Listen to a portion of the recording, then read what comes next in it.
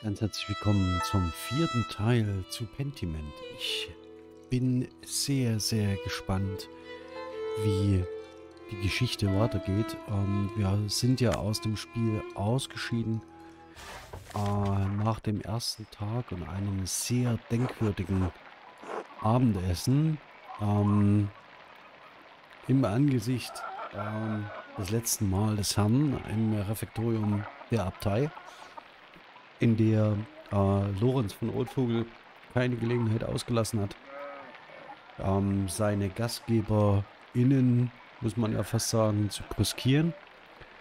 Und wir sind jetzt auf dem Weg in die, äh, im zweiten Tag.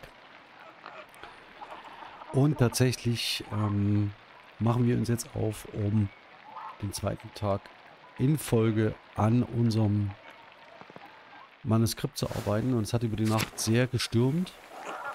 Ursula, ah. Das ist alles gut, Ursula. Guten Morgen, soll ich euch mit Ursula helfen? Hm, das wäre nett. Nein, ein paar Tränen schaden nicht. Außerdem haben wir jetzt fast alle undichte Stellen repariert. Ursula ist mein erstes Kind. Sie ist recht anstrengend, aber ich glaube, ich habe jetzt alles im Griff. Jörg war ein Geschenk des Himmels. Er hat Christine mit Eva geholfen, als sie ein Baby war. Ich muss mal ganz kurz die Spielaufnahme ein bisschen leiser machen.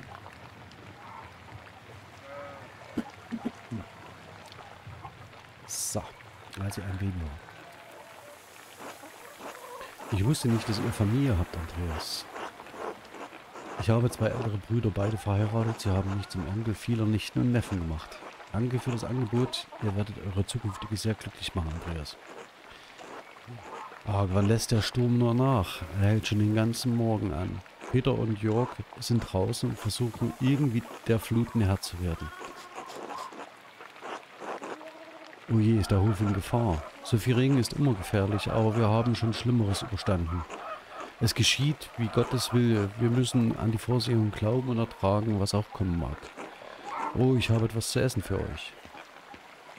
Das ist sehr fatalistisch, aber das ist für die Zeit nicht ungewöhnlich. Ähm, eher die Regel, ähm, dann die Ausnahme. Hier, verzeiht, dass ich nicht mehr vorbereitet habe.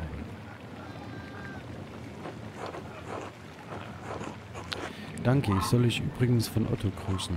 Oh, hat er das? Haha. hm. Gut, vielen Dank. Einen schönen Tag in der Abtei, Andreas. Werdet nicht allzu nass. Danke, gleichfalls. Viel Glück.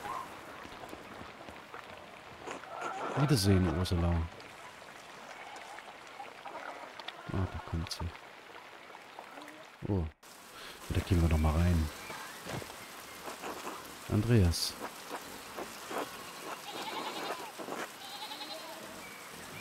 Oh, ich habe gar nicht gesehen, dass die Mauer kaputt ist. War das die Flut? Jawohl, muss in der Nacht gebrochen sein. Einige unserer Schafe sind getürmt, die müssen wir später noch suchen. So ist es halt immer. Regen fällt auf die Abtei und strömt dann zu uns, in, äh, zu uns kleinen Leuten herab. Nun, daran ist aber jetzt nicht die Abtei schuld. So funktioniert Regen eben. Es gibt einen Grund, warum wir hier unten sind und die da oben, Andreas. Naja, ich muss zurück an die Arbeit. Man sieht sich später. Stürmischer Morgen. Ich gehe nochmal ins Gärtnerhaus zu Ursula. Wo ist Ursula? Ah, da ist Ursula. Andreas. Ja, gut. Da hatte ich jetzt gedacht, kommt vielleicht noch was Kleines, aber... Clara? Hallo Andreas. Hallo Clara, ich habe etwas für euch. Stimmt ja. Stimmt, das hätte ich fast vergessen. Gut, dass ich nochmal reingegangen bin wegen Ursula. Oh, das sollte ausreichen für meine Miete und die offenen Steuern für die Abtei. Andreas, das ist weit mehr als eure Miete. Das können wir nicht annehmen.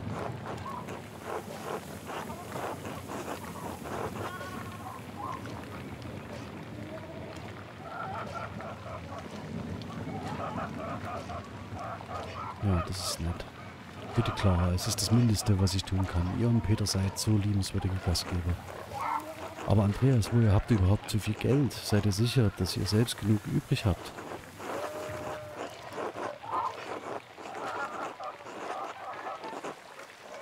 Macht euch keine Sorgen um mich, Clara. Ich komme schon klar. Na gut, wenn ihr sicher seid. Vielen Dank, Andreas.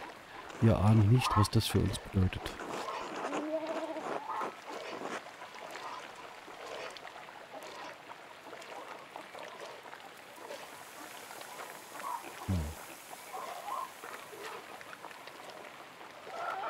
Es ist wahrscheinlich besser, wenn ihr nicht darüber sprecht. Ihr seid ein guter Mann, Andreas. Vielen Dank. Ich überlasse euch jetzt eurem Tagwerk. Gott segne euch. Bis später. Gut. Eva noch? Hallo Andreas. Gut, die sagt nichts weiter. Gut, dass wir nochmal reingegangen sind. Wenn wir jetzt, haben wir jetzt faktisch die Aufgabe beglichen. Schauen wir mal ganz kurz ins Tagebuch. Das haben wir, haben wir faktisch beide Aufgaben gelöst. Sehr gut. Und dann gehen wir doch mal in Richtung Abteil. Gut, mit Endless jetzt kann wir jetzt glaube ich nicht reden. Zur Stadtmitte. Da müssen wir jetzt lang, weil es geregnet hat. Mhm, mhm, mhm. Bäckerei Alban. Da waren wir noch nicht. Ulrich. Gott segne euch, Andreas. Oh, Servot Krag. Was haben wir da? Anna. Hallo. Und es ist Gret.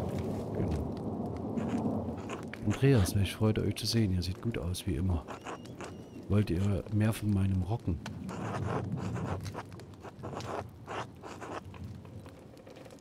Wie hatte Gret, ihr wisst, dass ich nicht fernbleiben kann von eurem Rocken. Andreas, ich kam vorbei und wollte Hallo sagen und jetzt muss ich mich verabschieden. Ihr seid ein guter Mensch. Und hier steht's willkommen, Andreas. Und immer willkommen bei meinem Rocken. Bleibt gesund. Bis später, Gret. Ja, ein kleiner, tu nicht gut ist Andreas schon und Ulrich sieht sehr traurig aus. Er redet hier mit Agnes. Steinhauerin. Gott zum Gruß, Andreas. Da haben wir es aber mit einem hübschen Frühjahrssturz zu tun. Hoffentlich lässt er bei Sturm zu tun. Hoffentlich lässt er bald nach. Guten Morgen, ich bin sicher, dass er bald nachlassen wird. Es geschieht alles wie Gottes will. Ulrich, ich habe Gret Geld für das Schwarzbrot letzte Woche gegeben. Tut mir leid, dass ihr warten musstet. Kein Problem, richte Linhardt schöne Grüße aus. Jan, ich gehe jetzt erst heim und dann zu den Pfeifers. Guten Morgen, Agnes. Was ist denn bei den Pfeifers? In etwa einem Monat müsste Helena ihr Kind bekommen. Ihre letzte Geburt war heftig. Er hat es nicht geschafft, möge Gott seiner Seele gnädig sein. Ich will nur sicherstellen, dass ihre Chancen so gut wie möglich stehen. Das liegt in Gottes Hand. Vertrauen, vertraue auf die Vorsehung. Selbstverständlich, Ulrich. Aber ich tue alles, um zu helfen. Warum sollte der Herr die ganze Arbeit allein tun? Ich muss jetzt gehen. Guten Tag zusammen, Andreas. Haltet euch vom Regen klar. Sagt Helena, dass ich für ihre Gesundheit beten werde. Das wird zu schätzen wissen, Andreas. Vielen Dank. Auf bald. Auf bald, Agnes. Okay, das war Agnes Steinhauerin. Der Nordstadt waren wir jetzt auch noch nicht. Ist sehen? Noch mehr Ruinen. Ob die wohl alle aus alten römischen Köln stammen? Das ist das Haus der Stolzens. Och, wie Klaus. Und das ist wieder Wundklee, oder? Das, das hat Glück, dass hier so viel Wundklee natürlich wächst. In Nürnberg müsste ich hinkaufen. Ich denke, das wird noch relevant werden für uns mit dem Wundklee. Aber wo ist denn das Haus der Pfeifers? Schmied Endres?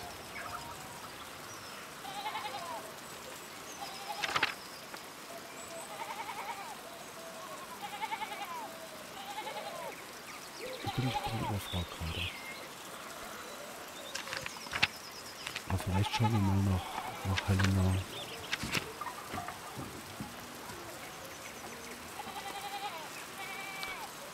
Ähm, Nee, ich muss nach Menschen. Okay. Amalie, das war die ähm, Inklusive. Ähm, wo ist Helena? Ist jetzt überblättert, ne? Hm. F. Ah, da müsste jetzt Helena kommen. Hedi.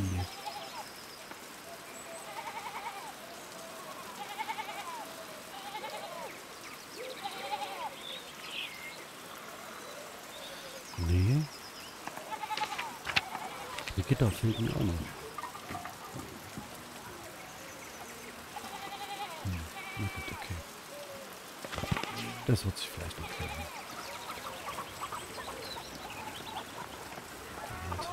Zurück.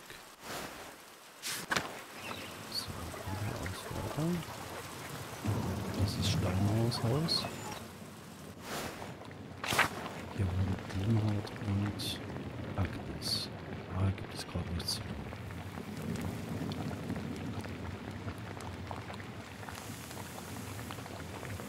Kein Lavendel. Oh, natürlich streichmäßig. oh. Katzenstreichler. Katzenstreichler ist gut.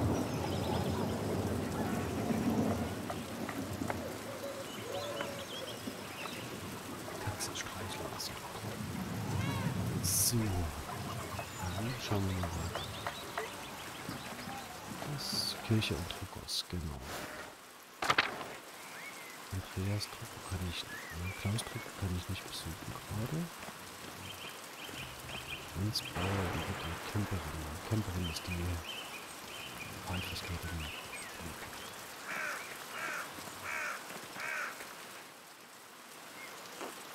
Vater, ich habe das schon einmal gesagt, aber es ist nicht gut, dass das Wasser hier so schnell abfließt.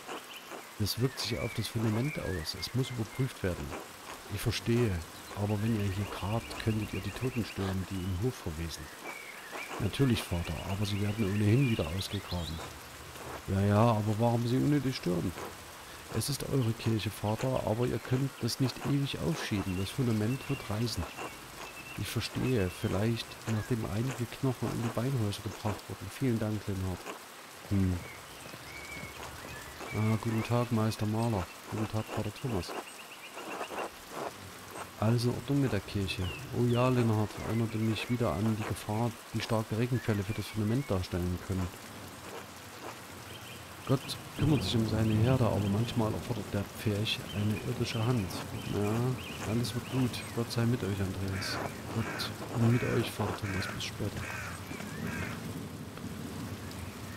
Also der starke Regen greift das Fundament an. Das ist schon ungewöhnlich.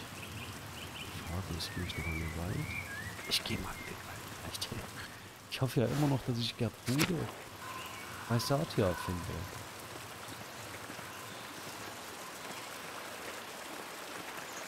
Scheinbar Helen Satia. Niemand da. Recht.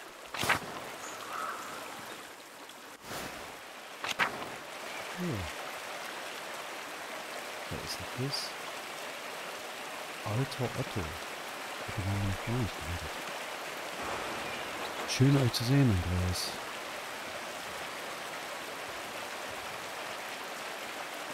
Gut. Okay. So ist der alte Otto. Haben wir den jetzt neu dabei?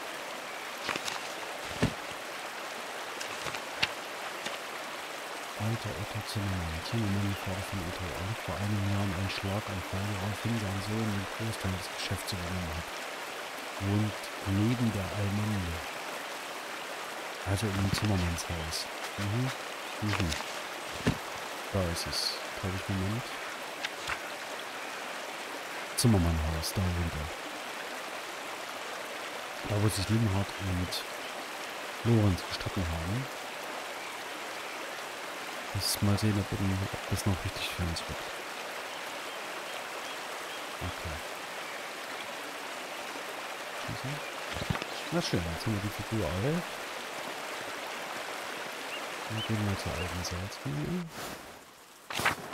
Die ist, die ist verlassen, da ist nichts. Gut. Ich glaube, das kann sich lohnen, hier ab und zu mal, während man auf dem Weg zur Arbeit ist, hier alles in Ruhe abzugrasen. Einfach um zu schauen, ob irgendwo sich etwas tut. Besonders hier der Schrein, der interessiert mich halt. Und Adams zu Hause, der Köhler. Da tut sich auch nichts. Das ist ähm, richtig ganz normales Tagwerk.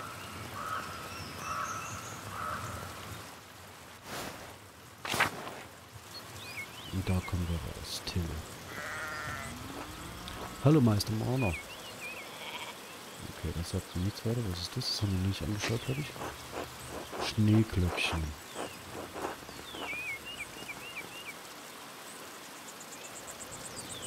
Und da haben wir das Rätsels Lösung. Dadurch, dass es Martin ist der der Mann von... Das gucken wir nochmal nach, ob der... Hallo Martin. Ah.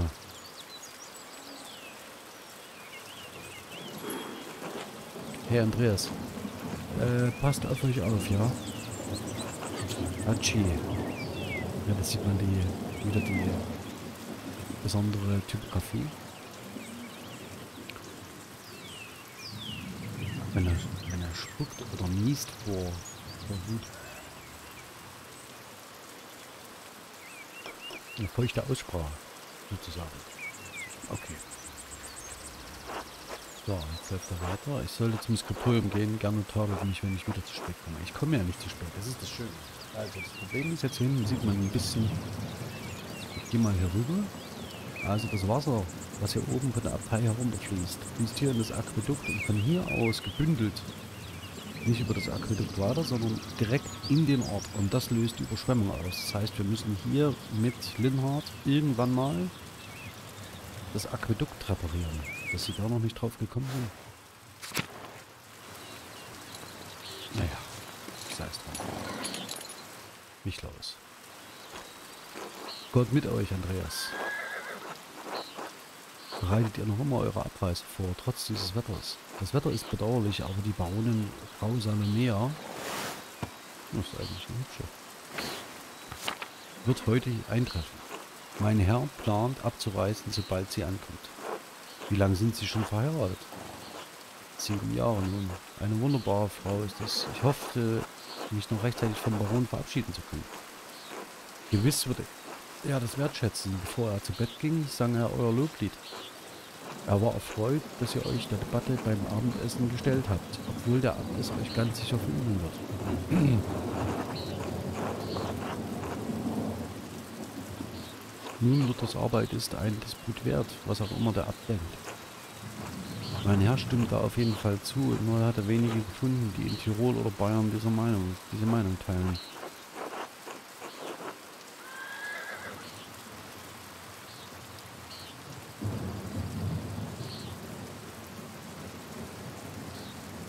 Okay, haben wir nochmal Glück gehabt. Ähm also, könnte man sagen, dass ich die Gunst des Barons erlangt habe. Ja, mein Herr hat mich gebeten, euch in seiner Abwesenheit ein Zeichen seiner Freundschaft zu geben. Er sagt, es sei nur eine Kleinigkeit, gemessen an zukünftigen Aufträgen, aber er hofft, dass ihr sie mit Stolz tragen werdet.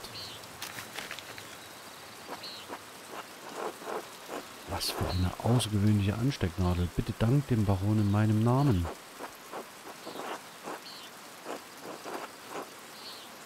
Ich werde sie sofort tragen. Danke vielmals. Natürlich, wie erwünscht. Wo ging euer Herr denn hin? Er ging früh morgens spazieren und sagte mir nicht, wann er zurück zur, äh, zur Ort wäre. Angesichts des Wetters erscheint es eigenartig. Nicht eigenartig für ihn. Mein Herr genießt das Lustwandeln in jedem Wetter. Ein wenig Regen hat ihn nie gestört. Ich kann das nachfühlen. Wir Schwaben genießen auch bei solchen Bedingungen einen schönen Spaziergang in der Natur.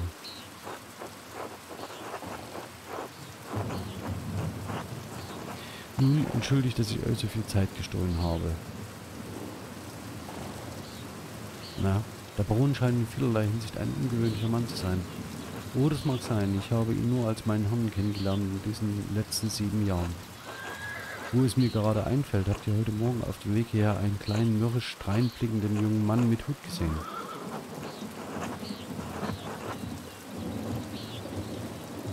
Ich hoffe doch, er meint nicht mich. Haha, nein. Er war mindestens zwei Hand kleiner als ihr.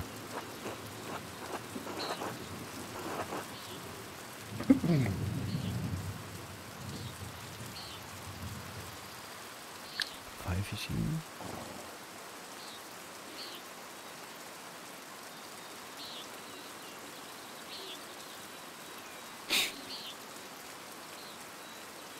Ach, das kann nur Martin Bauer sein. Er rannte auf der Wiese an mir vorbei, als ich gerade den Hügel hinaufstieg. Schien es eilig zu haben. Ah, das erklärt dann wohl die fehlenden Ringe meines Herrn. Stirnrunzeln. Ich wollte die Sache des Barons packen und sie fehlten. Warum glaubt ihr, dass Martin die Ringe gestohlen hat? Gestern erwischte ich den Jungen mit dem Hut. Martin, schätze ich, wie er durch das Fenster hineinstarrte. Ich hätte ihn da schon mahnen können, doch nun erschien harmlos. Ein Jammer, ich hoffe, den Baron trifft der Verlust nicht zu schwer. Mein Herr verfügt über ein gewisses Vermögen, die goldenen Ringe werden ihm keine schlaflosen Nächte bereiten. Aber über das Buch wird er sich aufregen. Er wollte unbedingt, dass der Abt es sieht. Aber ich muss nun wirklich die Pferde satteln gehen. Es war schön, mit euch zu sprechen, Andreas. Natürlich. Und ich hoffe, um euretwillen, der Regen hört auch bald auf. So Gott will, bis zum nächsten Mal. Bis dann. Das Buch? Meint er die Tassingsche Chronik?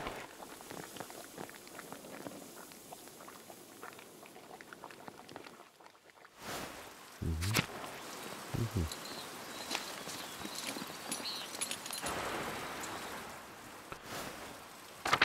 So, dann stoppen wir mal Moritz noch einen Besuch ab. Ich komme nicht von diesem Moritz Gaius Metellus los.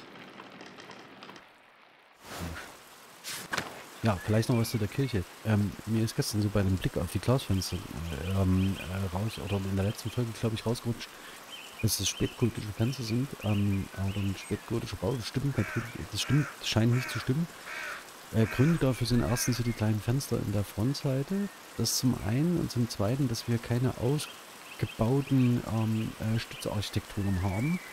Ähm, also keine äh, Seitenstreben, die den Druck ähm, des Kirchendaches faktisch ablenken und so große Fensterfronten möglich machen. Wir haben große Glasfenster in der Kirche, was mich ein bisschen wundert, weil es eigentlich gegen den romanischen, als gegen den gotischen Stil also gegen, also weil es eher gegen den gotischen Stil spricht, aber wir haben ein gotisches Gewölbe, aber keine spätgotische Kirche. Das ist eine gotische ähm, die möglicherweise ein romanisches, ein romanisches Fundament hat, wie auch das Dach so ein bisschen andeutet. Aber sei es Anja, wollen wir nochmal probieren, ob wir in die Bibliothek gehen? Weil ich will schon diese brasilianische Chronik, um die es geht. Probieren das mal. Irgendwann muss ich ja da mal reinkommen. Also offensichtlich jetzt noch nicht. Das werde ich aber jetzt immer wieder probieren. Da das Spiel hier auf den ganzen Screens, die es präsentiert, immer wieder andere Figurenkonstellationen zeigt, die man so in der Form noch nicht gesehen hat oder kennt. Und meine Sorge bei solchen Spielen ist immer, dass man was verpasst. Ja? Also, dass man irgendeinen wichtigen Hinweis verpasst und nicht weiterkommt. So.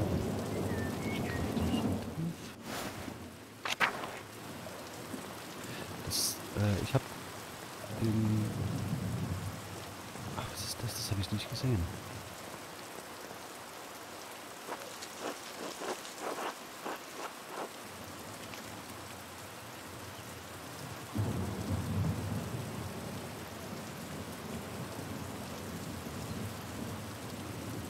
Bruder Gerhard ist schon einige Zeit tot. Warum ist sein Grab gestört worden?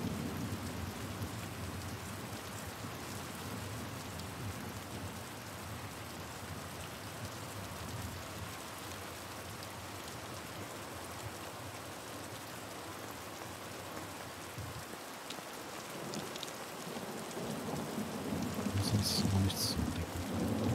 Die Gründe haben wir uns ja schon angeschaut. Apfelbaum schaue ich mir jetzt eigentlich nochmal an.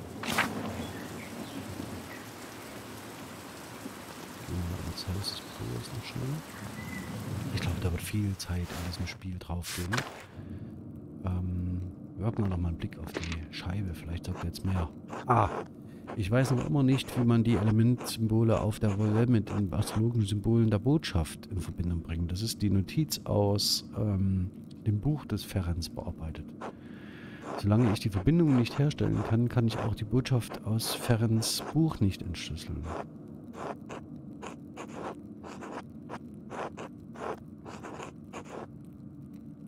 Ich habe den Geheimgang in der Krypta gefunden. Es muss in der Bibliothek ein Buch geben, in dem, mit dem ich der Sache auf den Grund gehen kann. Schwester Illuminata ist die meiste Zeit dort. Vielleicht könnte ich nachts hineinschleichen. Und wenn alles andere schadet, könnte ich Werner Stolz fragen. Er lebt bei der nördlichen Allmende. Warum sollte ich Werner Stolz fragen? Ich habe das Gefühl, dass er mich nicht sonderlich mag, aber ich werde einen Weg finden, die Informationen aus ihm herauszuholen.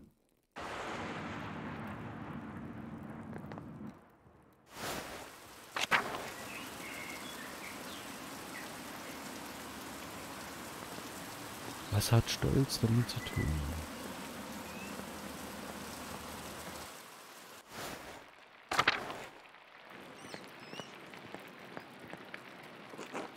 Oh, das ist wunderbar. Der Rest des Klosters ist durchnässt, aber hier drin gibt es keinen Tropfen Regen. Ich habe langsam so ein Gefühl ähm, dafür, warum die nicht fertig werden mit ihren Arbeiten. Die reden die ganze Zeit. Die labern die ganze Zeit. Die schwätzen. Ähm, und das sollten sie eigentlich nicht tun. Also es ist keine... Ja, deswegen kommt die nicht vorwärts. Gut, dass der Abt Otto das Dach des Skriptoriums in der Bibliothek erst letzten Monat ersetzen lassen. Den hat man nicht. Abt Otto. Ach, ein Spaß. Ach nee. Nicht, dass der Abt Otto, sondern dass der Abt Otto das Dach des Skriptoriums in der Bibliothek erst letzten Monat ersetzen lassen hat. Dank des Kalefaktoriums ne äh, nebenan bleiben wir warm und trocken, während alle anderen in der Kälte sitzen. Statt euch an unserem Glück zu ergötzen, solltet ihr an unsere Brüder und Schwestern denken und für deren Sicherheit beten. Die Voraussicht des Abtes rettete so viel unserer Arbeit und der Bibliothek. Der Stadt erging es weniger gut. Sicher geht es ihnen äh, gut. Und noch wichtiger, falls dem nicht so sein sollte, kümmert es mich nicht. Bruder Guy, mit Herzen wie euren könnte man den Hof pflastern. Eine sehr schöne Metapher.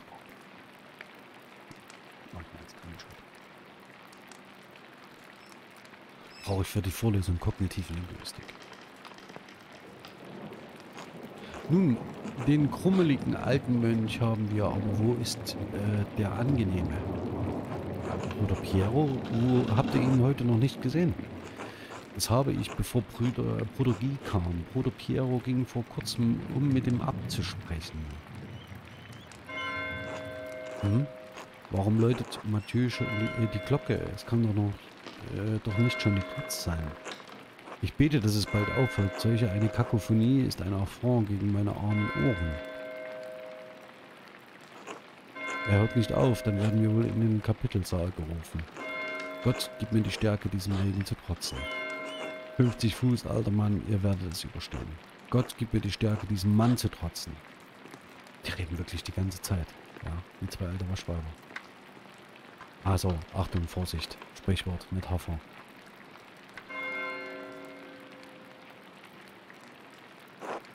Es hört noch immer nicht auf. Was geht da vor? Es kann doch nicht am Sturm liegen.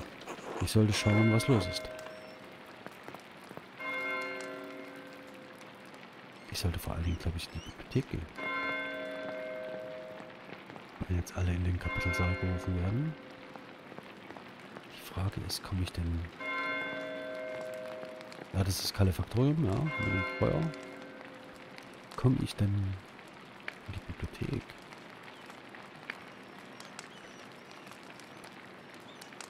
Das probieren wir mal aus.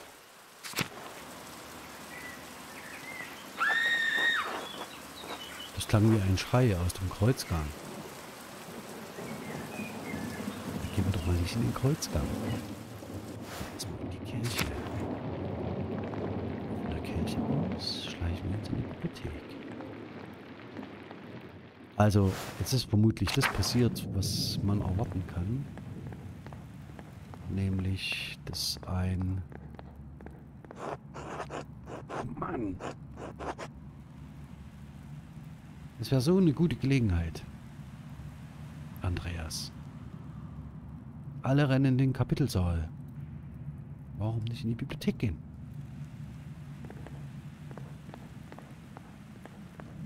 Kruzifix. Na gut. Dann beugen wir uns mal dem, dem Skript. So. Das kommt aus dem Gang, vielleicht aus dem Kapitelsaal. Ich glaube, diese Schreie...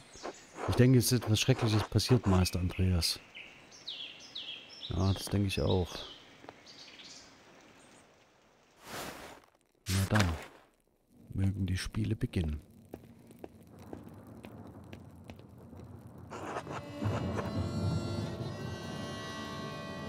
Ich sag mal nichts.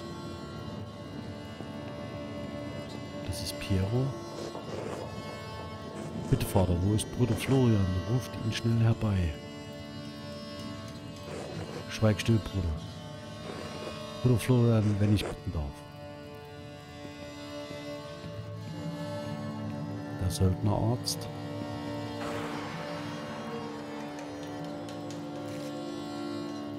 Piero hat das Messer an der Hand.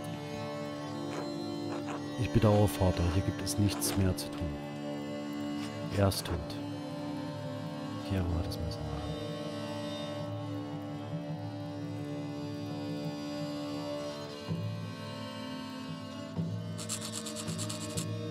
Margarete schreit. Schwester Margarete, beruhige dich. An Margarete kann ich sehen.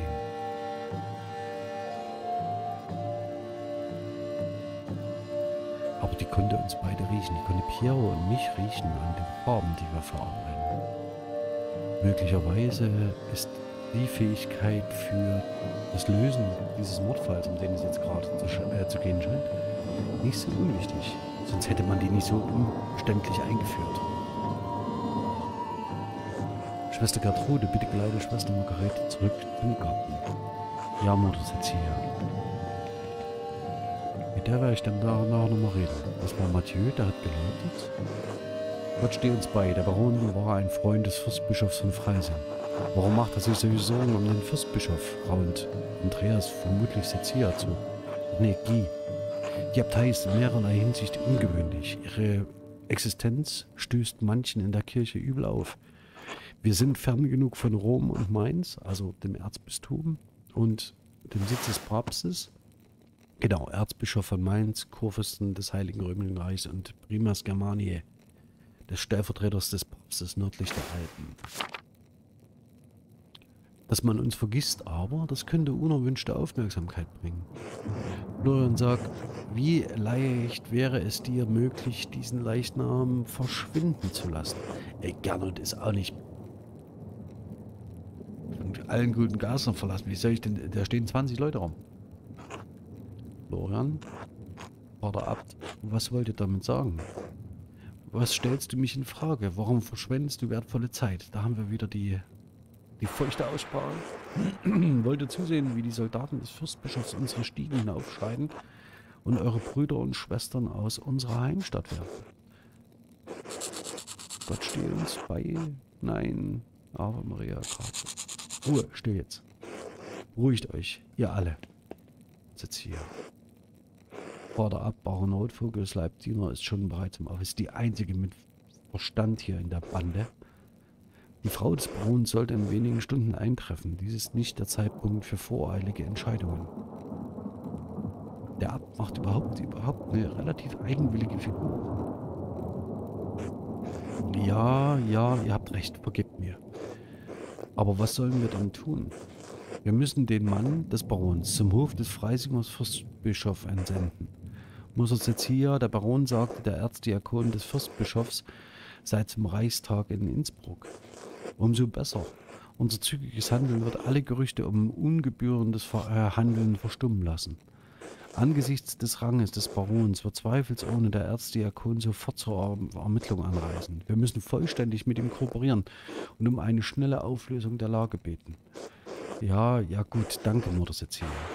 Bruder Wojslav, setze Bruder Piero im Keller fest, bis der Mann des Fürstbischofs erscheint. Was? Bruder Piero? Weshalb?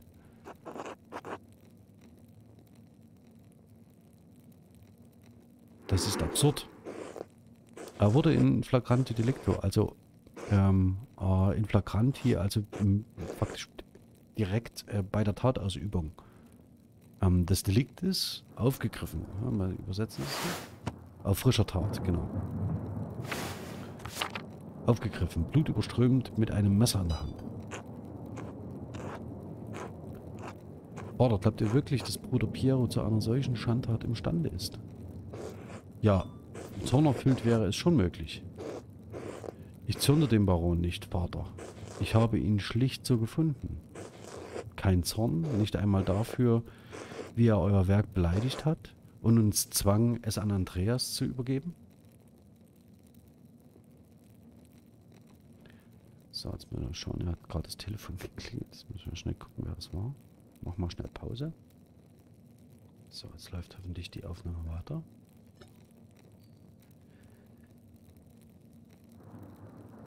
Kein Zorn, nicht einmal dafür, wie er euer Werk beleidigt hat und uns zwang, es an Andreas zu übergeben. Nochmal zur Wiederaufnahme.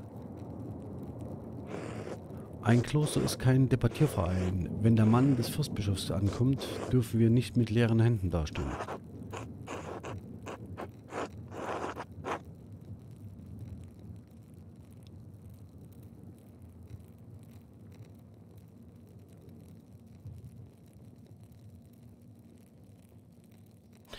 Selbst wenn Piero den Baron töten wollte, wäre er doch gar nicht körperlich dazu in der Lage. Die Lähmung in seiner Hand schreitet zu seinen Fingern fort. Er kann ein Messer kaum halten, geschweige denn damit jemanden ermorden. Das ist eine wichtige Information, deswegen malt er auch so langsam.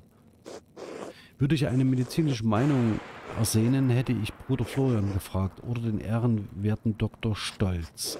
Deswegen hat er Glasfenster. Der Dr. Stolz. Doch das tue ich nicht und dies ist nicht deine Angelegenheit.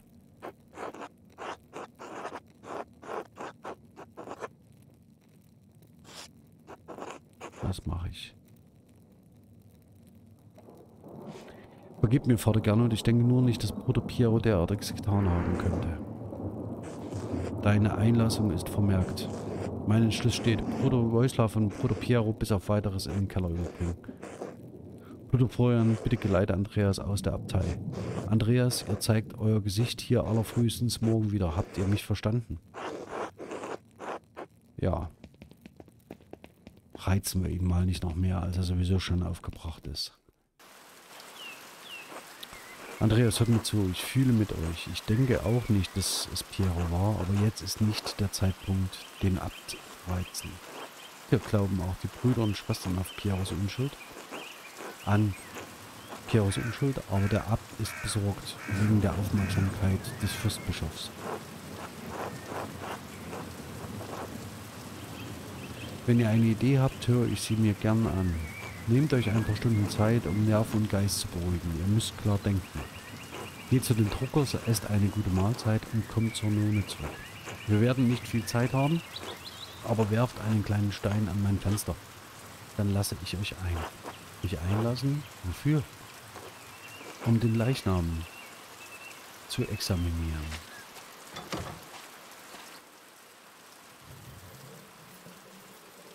Gut.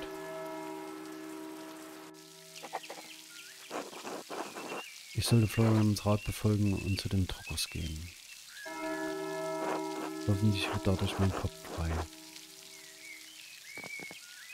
Gut, jetzt kann ich auch nicht mehr in die Abtei gehen. Aber ich kann zum Schreien gehen. Wo tatsächlich niemand ist. Und ich kann vor allen Dingen in den Konventgarten gehen. Hier hat diese zwei, hat Margarete und Gertrud sofort weggeholt. Vielleicht sind sie hier im Garten. Nee. Kann ich da reingehen? Und das Haus? Und das habe ich noch gar nicht gesehen. Schwester Gertrud trocknet und lagert hier alle ihre Kräuter. Ja, das ist sinnvoll, ab und zu mal so nach offenen Türen zu schauen. Konventlokorium. Da kann ich glaube ich gar nichts machen. Ne, da ist auch niemand. Aber ich kann mit Cecilia reden.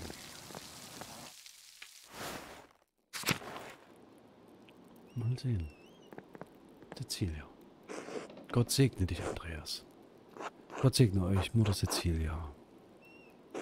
Gibt es etwas, wobei ich dir behilflich sein kann? Ja, also ähm, das Erwartbare ist passiert. Lorenz ist getötet worden. Ähm, Piero wird beschuldigt. Und ähm, es gibt ganz unterschiedliche Motive, die eine Rolle spielen können. Und ich muss jetzt mal ein bisschen schauen, dass ich mir die Motive so zurechtlege, dass ich rausbekomme, wer schlussendlich dahinter steckt. Jetzt hier hat er ein Motiv. Ähm, aber mal sehen, was sie weiß. Ich muss mit euch erneut über den Baron sprechen, wie ihr mit den Schwestern bei seiner Aus Ankunft gegangen seid. Da der Baron gerade ermordet wurde, scheint mir der Grund schon interessant. Warum vertraut ihr nicht auf das Urteil des Abtes?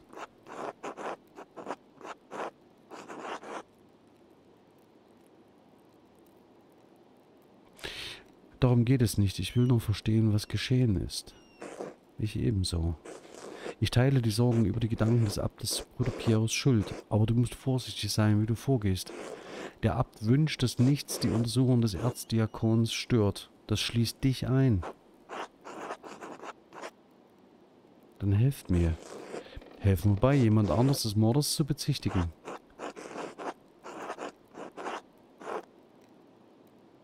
Das ist nicht Pierre, den Baron ermordete. Es muss jemand anders gewesen sein. Das ist unverfänglicher. Helft mir, Gerechtigkeit zu finden. Wie sieht Gerechtigkeit aus, Andreas? Oh nee, nicht zurechtweisen.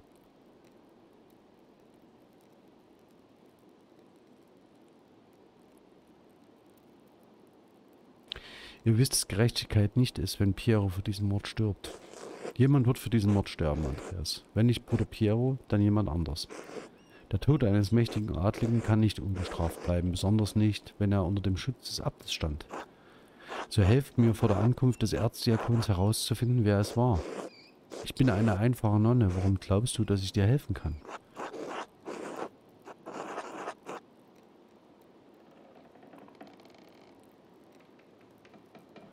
Ihr wisst, was im Kloster geschieht, besser als alle anderen. Besser als der Abt, Der Abt sieht nur die Brüder. Ihr müsst über die Schwestern wachen und wissen, was mit den Brüdern geschieht. Wohl wahr. Na schön, ich hatte Grund, wegen der Anwesenheit von Baron Rotvogel Bedenken zu haben.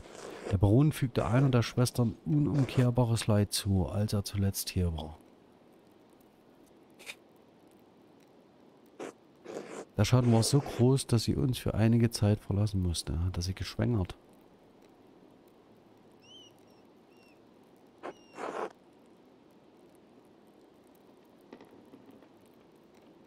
Ich sag mal lieber nichts.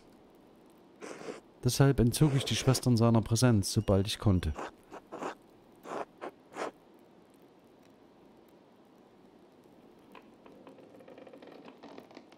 Welche Schwester kann ich mit ihr sprechen?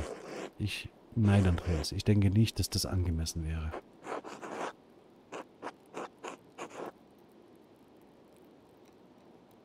Ich sag nichts.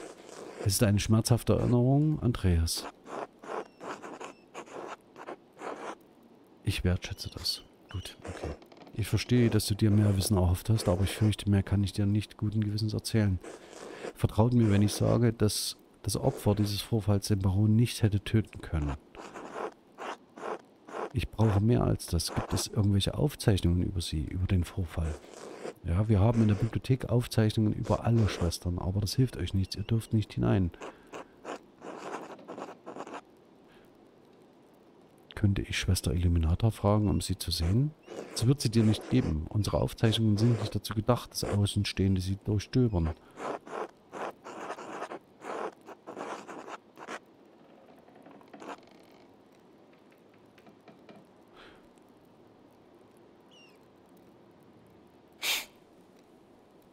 ich ziehe Illuminator da nicht mit rein. Ich kann allein hineinschleichen, wisst ihr. Ich habe den geheimen Eingang in der Krypta gefunden. Versuche es nicht. Du wirst geschnappt werden und dann von Glück reden können, wenn dich der Abt nur bis zum Tag des jüngsten Gerichts aus dem Kloster verbannt. Ah, ihr habt wahrscheinlich recht. Gott segne euch. Mordes hier. Möge Gott dich segnen, Andreas Mahler. Das war gut. Das war ein gutes Gespräch. Ich sollte die Klappe halten. Ich sollte die Klappe halten. Das ist deutlich angekommen. Und es gab sowas wie eine Vergewaltigung. Das heißt möglicherweise auch, also das weiß ich jetzt nicht, aber ähm, irgendeiner der Schwestern hat sich vergangen. Ich schaue jetzt nochmal hier. Niklaus ist ja jetzt weg. Schauen wir schnell ins Gästehaus. Oh, da ist was.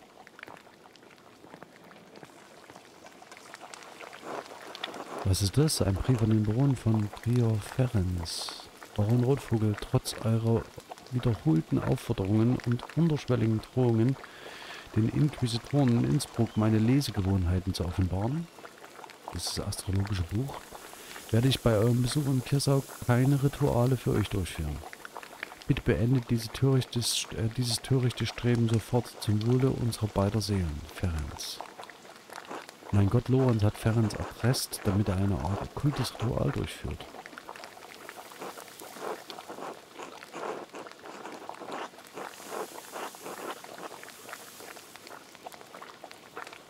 Es ist eine Sache, Bücher über Magie zu lesen, doch nur wenige sind töricht genug, auch zu praktizieren, was in ihnen geschrieben steht. Einige der Substanzen in diesen Ritualen sind gefährlich, sogar tödlich, und Gott bewahre, dass die Inquisition davon erfährt. Gut, dann sollten wir irgendwie bei Gelegenheit mal mit dem Prior reden. Das war eine gute, Hinweise. Viele kleine Hinweise. Gut, dann haben wir schon ganz verschiedene Motive. Also Tiara kann ihn nicht getötet haben, äh, äh, wenn seine Hand fast gelähmt ist. Ähm, die Schwester im Konvent, an der er sich vergangen hat, die könnte mit drin stecken. Der Prior könnte mit drin stecken und Gernot könnte mit drin stecken, weil es um die Tassingische Chronik geht. Also das heißt, ähm, er hat nicht eben wenige Feinde, unser Baron. Hier läuft das Wasser immer noch durch. Das muss ich Linghard ansehen. Okay, Till. Hallo Meister Maler. Bevor ich jetzt, bevor ich jetzt zu den Druckers gehe und mehr oder weniger die Zeit wieder eine Scheibe vorantreibe, schaue ich mal ganz schnell auf die Uhr, wie viel wir jetzt schon weg haben. 47 Minuten. Gut, dann machen wir mal bis zum Mittagessen bei den Naros, äh, bei den Druckers gehen wir jetzt die einzelnen Stationen nochmal durch. Möglicherweise treffen wir noch jemanden, der für uns, hier ist nichts, der für uns inform interessante Informationen bereithält. Und gehen wir nochmal schnell zur Salzmine. Was ist das? Ja. Ah, das ist Bert. Mit so. Das ist Anna. Das ist die Bäckerstochter. Nur den hier kenne ich nicht. Na, dann reden wir doch mal mit ihm. Paul, äh, hallo. Paul, richtig? Du bist der Müllerjunge. Was macht ihr Kinder hier unten? Räusche. Wie bitte? Räusche. Wir sind nicht wirklich auf der Suche nach Fröschen. Ich schon. Ich auch. Damit bist du überstimmt. Warum sagt ihr mir nicht, was ihr wirklich vorhabt? Ich will keine Schwierigkeiten. Sind wir in Schwierigkeiten? Noch nicht. Oder? Ich bin nicht dein Vater oder dein Vater. Ich kann euch nicht sagen, was ihr tun sollt. Wir werfen Steine. Ja. Steine runter ins Loch. Ihr werft Steine in die alte Mine? Vielleicht. Naja, sie fallen sehr lange und wenn du an der Kante liegst, hörst du sie unten Kling machen. Ich habe 100 Steine hineingeworfen. So viele äh, waren das wirklich nicht. Es waren nicht so viele. Was denkt ihr, ist da unten am Boden? Anna, Anna ist super. Anna, Anna hat den Bogen raus. Ähm, sehr schön. Also außer den Steinen. Salz, Papa sagt, die Toten hätten es gegessen. Er meint die Römer, sie haben die Salzminen gebaut und das Aquädukt. Das Aquädukt, die Reichsstraße und viele andere Dinge. Es scheint, dass in dieser Stadt überall römische Bauten sind. Erzähl ihm von daher von dem Schatz. Oh, richtig, unten am Boden glänzt etwas. Das wollen wir mit den Steinen treffen. Was glaubt ihr, was es sein könnte? Ich weiß nicht. Ich habe noch nicht drüber nachgedacht. Der Schatz. Wir sollten ihn holen. Ich glaube nicht, dass das eine gute Idee ist. Es ist ein langer Weg nach oben. Hier könnte verletzt werden. Und ich werde ewig leben. Papa sagt, das ist Blasphemie. Erzählst du es jemandem, Andreas?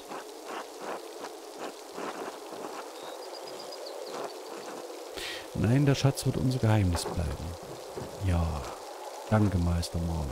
Bis später. Tschüss. Was könnte das sein? Was könnte das sein? Ja, vielleicht eine blinde Fährte. Na, schau mal. Ja, jetzt pass mal auf, wenn das die Lanze ist, die sie da reingefahren haben, um einen Teil der Rüstung oder sowas. Von, äh, von Gaius. So, schauen wir schnell bei Adam, beim Köhler. Na, da gibt es nicht viel Neues. Das ist keine andere Person. Und Kirche, Kirche und Drucker ist gut. Aber ich gehe jetzt noch nicht zu Drucker. Sondern Müssen wir nicht zusammen gehen?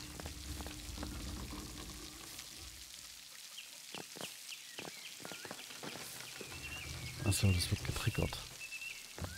Moment, da gab es noch einen anderen Weg zur Mühle. So leicht, so leicht, so leicht wird das jetzt nichts hier. Karte. Das habe ich, das habe ich vermasselt jetzt.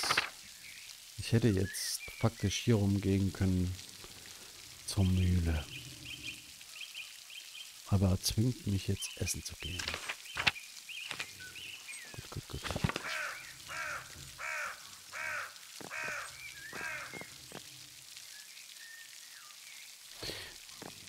Hm. Auch kann ich lange... Okay, das habe ich jetzt getriggert. Da komme ich jetzt nicht mehr raus. Schade. Schade.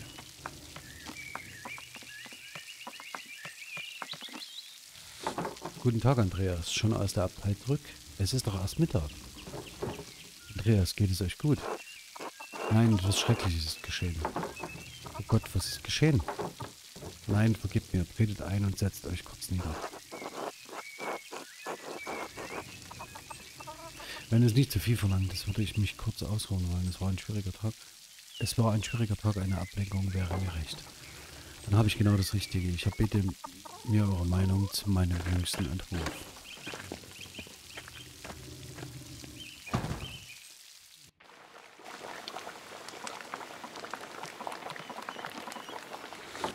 Guten Tag, Andreas. Soll ich euch einen Teller Essen machen?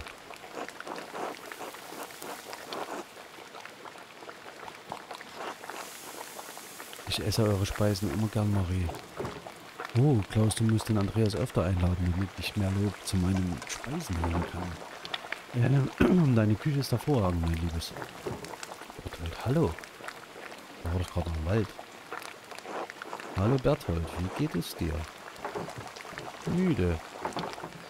Komm mit in meine Werkstatt. Das glaube ich dir auch nicht gerne schmeißen. Schelm. Ich werde den Till-Eulenspiegel neu bearbeiten. Vor einigen Jahren, da gab es eine Ausgabe aus Straßburg. Scheußlich, fast ganz ohne Abbildung. Da geht sie hin, die Sprache. Was haltet ihr von den neuen?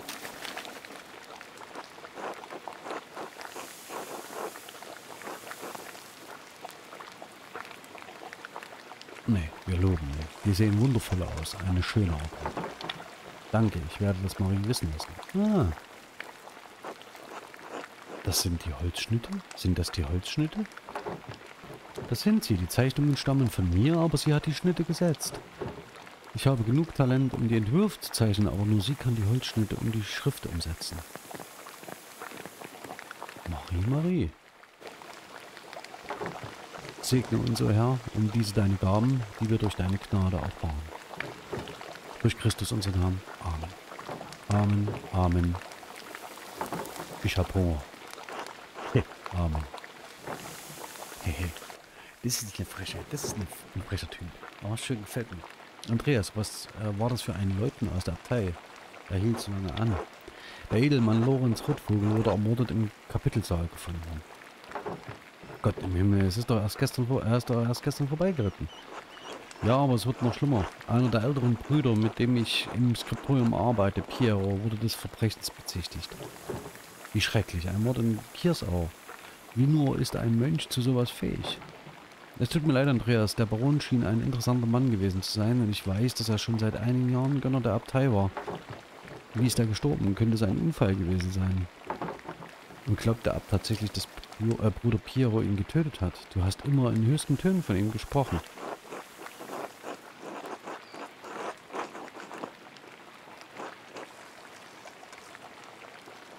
Ich erspare euch lieber die Einzelheiten, aber es ist kaum anzunehmen, dass es ein natürlicher Tod war.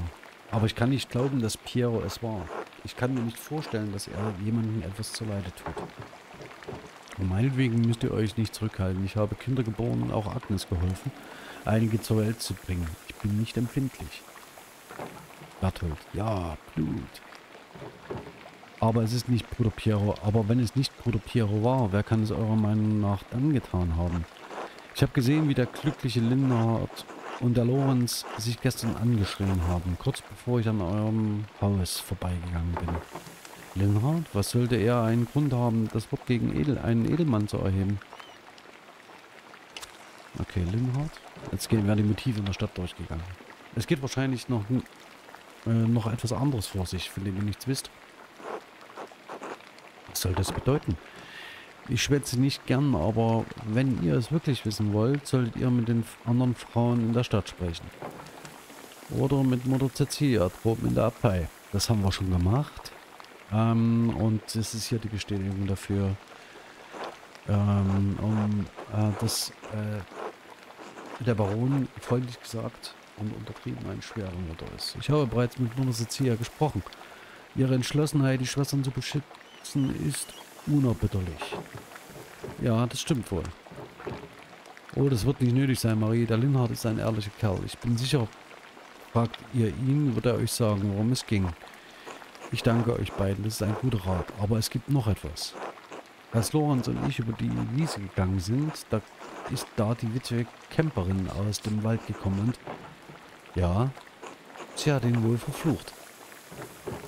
Das überrascht mich nicht. Ottilias verstorbener Ehemann Ranich geriet bei seinem letzten Besuch in Tassing in einen Streit mit Lorenz. Ich kann mich nicht an alles erinnern, aber seit Raniks Tod im letzten Jahr ist Ottilia nicht mehr dieselbe. Eine Wurst. Sie war eine alte Meckerziege, schon bevor sie alt war. Klaus, es reicht. Sie musste in ihrem Leben schon genug Hiobsbotschaften ertragen. Und jetzt lebt sie allein im Wald, am Waldrand. Das heißt, sie werde ihren Besitz bald abgeben müssen. Ich habe Mitleid mit ihr, aber sie ist ein verbittertes Weib. Es sollte vor dem Gesetz eine Ausnahme geben, damit sie erben kann. Das klingt gerechter. Es war nicht immer so. Ich glaube, meine Urgroßmutter erbte das Land vor langer Zeit. Nun, wenn es von Menschen geändert wurde, können sie es wieder ändern. Du hast wie immer recht, meine Liebe. Genug über Otia. Gibt es sonst noch jemanden, der es deiner Meinung nach getan haben könnte? Ich weiß nicht, ob er eine böse Absicht hat, aber Prior Ferenc verhält sich seltsam seit dem Tag, als Lorenz angekommen ist. Vielleicht ein Streit oder Klären? Ich weiß, dass beide viel lesen. Sowohl die Klassiker als auch neuere Werke. Bei seinem letzten Besuch hat der Baron ein Buch über Astronomie bei mir gekauft. Ich weiß, dass der Prior ähnliche Interessen hat. Aber würde der Prior jemanden wegen einer einfachen Meinungsverschiedenheit töten? Das ist nicht völlig abwegig. Als ich die Universität besucht habe, schlugen sich einige Männer wegen wissenschaftlicher Kleinigkeiten. Ist heute nicht mehr ganz so extrem, aber hm, es wird schon teils auch mit harten Bandagen gefochten. Was für manche eine Meinung ist, ist für andere Testament des Glaubens, für das es zu töten gilt. Das mag sein, aber solche, eine solche Wut habe ich in Prior Ferenc noch nie gesehen. Nicht einmal als Gernot an seiner Stadt zum Abt wurde. Das ist eine interessante Information. Der Gernot ist an Ferenc vorbei zum Abt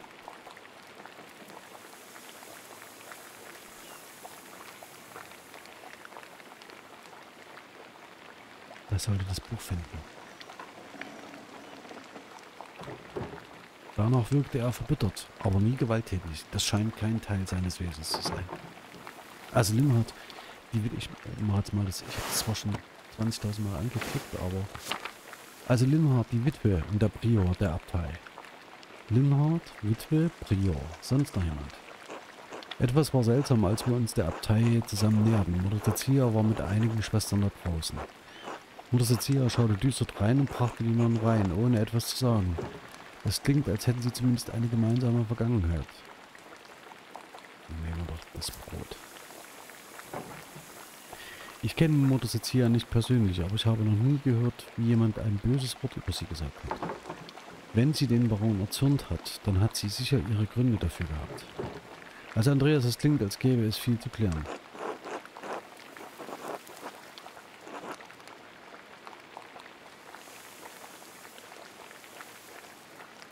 Danke für eure Sorge. Sie hat mir geholfen, zu verstehen, wie ich Piero helfen kann. Ihr seid hier stets und zu jeder Zeit willkommen, Andreas. Ja, der Bursche wird sich besonders freuen. Das denke ich auch. Gott mit euch, Andreas.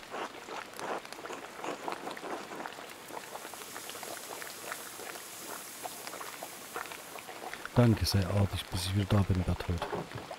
Ich versuch's.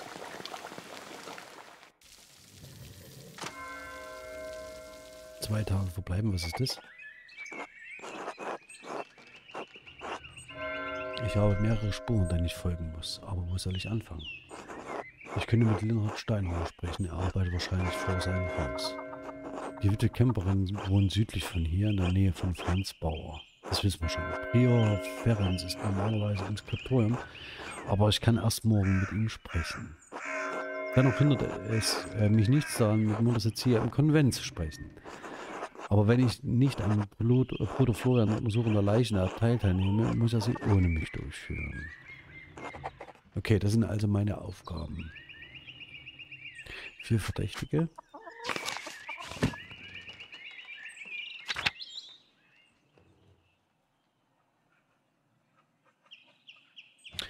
Okay. Die Untersuchung des Ärzteaccounts. Ist da Innsbruck aufgebrochen, die Anwesenheit ist.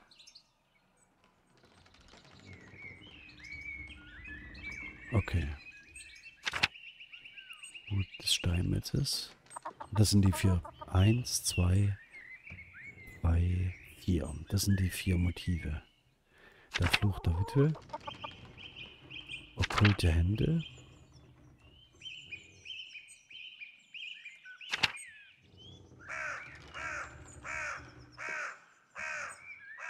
Ich muss mit dem Stolz erstmal reden.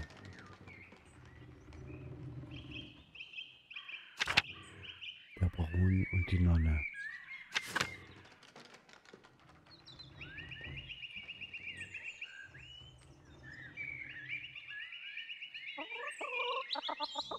Okay. Dann probieren wir mal. Anders als jetzt vorgesehen, zu stolz zu kommen. Ich will nicht mit, will nicht mit Lenot reden. Das machen wir nachher.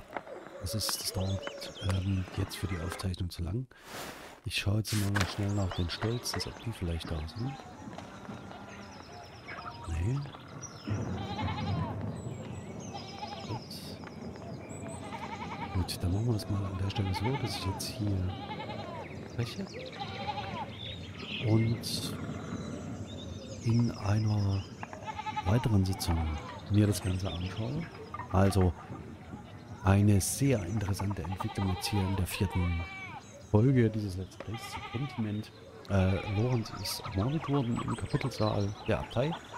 Wir haben vier Verdächtige. Wir wissen ungefähr, wo, wohin die Reise geht. Ähm, es gibt relativ ungeklärte und dunkle Geheimnisse und eine zentrale Schaltstelle, um das Wissen ähm, ähm, zu beschaffen, was hier in äh, Kiersau gespielt wird, ist die Bibliothek. Ähm, darauf freue ich mich in einer fünften Folge äh, zu diesem Let's Play und ich hoffe, dass ich ähm, die Vorfreude darauf nicht alleine teile. Also in diesem Sinne, bis zum nächsten Mal. Ciao.